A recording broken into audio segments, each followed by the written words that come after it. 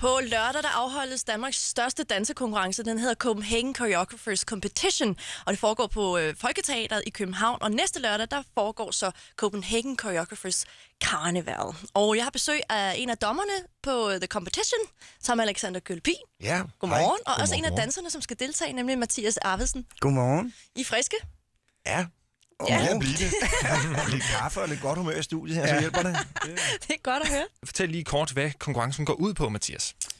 Altså, det er en, øh, en koreografi-battle, kan man godt kalde det. Det vil sige, at vi kommer 12 forskellige hold, crews, og øh, har på forhånd forberedt øh, noget musik, som er mixet sammen, lavet noget koreografi, og så kommer vi og viser det over for, jeg ved ikke, tre dommer, tror Tre jeg. dommer. Alexander, du er jo tidligere balletdanser, og så skal ja. du så sidde og bedømme noget, som måske er hiphop-relateret. Altså, udover at jeg synes, det er enormt spændende, og min, min baggrund er klassisk, så er, det jo, er der jo ligesom en, øh, en ting, der går igennem for alt dans. Og det er jo, øh, hvordan arbejder de her koreografer og de her crews? Hvordan arbejder de med musikken, og hvordan, hvad er det for nogle valg, der bliver truffet fra koreograferne? Hvad er det for en, øh, en tilgang? Hvad er det for en øh, præmis, som den koreograf stiller op? Hvad er der, øh, altså jeg vil enormt meget kigge efter, hvad er det for en, en personlighed, der er i koreografien? Når man normalt sådan lige præsenterer dig, Mathias, så siger man også, danser og kæreste med Medina. Er du Ja. træt af det? Nej, det er jeg sådan set ikke. Altså, øh, jeg har en meget talentfuld kæreste, så det kan man vel ikke blive træt af at blive sat i forbindelse med. Nej. Smuk svar. Det synes. Korrekt svar.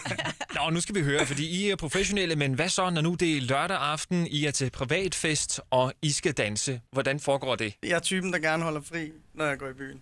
Og så ligesom bare slapper af og, Ja. og, og drikker mig fuld. Jeg vil sige, at øh, line dance, jeg er vild med line dance. Nej, det er ikke rigtigt. Men, øh, men, Jeg troede øh, på det lige et øjeblik. Ja, jeg så den i øjnene til. Okay. Yes. Nå, jeg har noget med nogle arme, der meget skal ud. Sådan, jeg, sådan, jeg skal altid bruge armene enormt meget ud i siden. Nu er jeg jo personligt selv øh, motorik som en eller anden gammel russisk kampvogn, og, og der er mange, der tror, at det kan, det kan jeg ikke lære. Men altså, kan alle mennesker lære at danse? Det vil jeg sige ja til. Det vil jeg sige nej til. Tak for det. Altså, jeg, vil sige, jeg vil sige, altså, hvis du er totalt tonedøv, og du... Øh, Det er. Og, er du det? Ja. Så er det svært. Så bliver det rigtig svært. Jamen, det er det, altså, det, er det, som jeg tænker. Altså, alle kan godt lære en øh, siden støt til siden støt. Men derfra og så komme videre, det kan blive rigtig svært for nogen. Det er jeg enig i. Men jeg vil sige, jeg synes bare ikke, man skal... Det, det, altså, nu tænker vi måske sådan mere professionelt, men der er også mange, der bliver afholdt ved ligesom at sige, jeg kan ikke danse, og jeg kan ikke, jeg kan ikke lave god koreografi eller god dans. Altså, alle kan jo forholde sig til musik Ja, ja, i en eller anden udstrækning. Helt klart, helt klart. Og, og, og, og sådan skal det jo være. Altså, mm. man, skal jo bare, man skal jo aldrig holde sig tilbage til at fyre den af til den musik, om det så sidder lige i skabet, eller om det er fuldstændig på beatet. Så jeg synes jo et eller andet sted, at alle skal jo bare danse. Vi skal have Heino og øh, Steffen til at lære at danse til Medinas ensom, og Mathias, det er der, du danser. Øhm, hvad vil du vise drengene? Hvad skal de lære? Jamen, øh, I skal lære øh, den første bid af omkvædet, som øh, er en lidt, øh, lidt anderledes form for hiphop. Ja. Det bliver meget sjovt at se lige netop jer to i den rolle. Er du ensom? Jeg håber, du ensom. Baby, du ensom?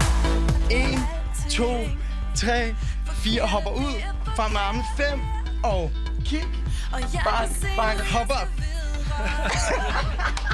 hop op. Jeg, jeg, jeg, I gør det faktisk forbavsende godt.